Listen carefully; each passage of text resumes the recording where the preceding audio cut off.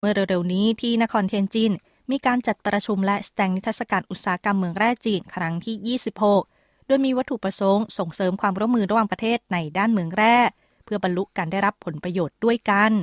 นิทรรศการครั้งนี้จัดขึ้นเป็นเวลา 4 วัน ภายใต้หัวข้อ ส่งเสริมความร่วมมือทางอุตสาหกรรมเมืองแร่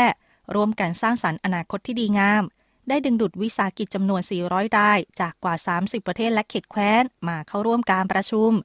โดยมีการจัดฟอรัมการประชุมรวม 23 ครั้ง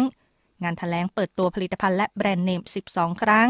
เนื่องด้วยการจัดต่อเนื่องเป็นเวลาหลายปี การประชุมและงานแสดงนิทรรศการนี้ได้พัฒนาเป็นแพลตฟอร์มการพบปะเจรจา และแสวงหาโอกาสการลงทุนที่สำคัญในแวดวงเมืองแร่โลก中国它是矿产资源的叫生产大นายเชอร์ชางโป เลขาธิการสหพันธ์อุตสาหกรรมเมืองแร่จีน กล่าวว่าจีนเป็นประเทศผู้ผลิต นำเข้า แปรรูปและผู้บริโภคที่สำคัญของอุตสาหกรรมเหมืองแร่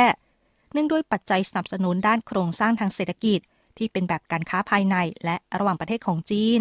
นายเชอฉางโปยังกล่าวว่าจีนได้ขยายบทบาทความเป็นผู้นำด้านการพัฒนาโซลาเซลล์ของโลก ตอบสนองความต้องการที่สูงยิ่งขึ้น ต่อการผลิตแบตเตอรี่แบบใหม่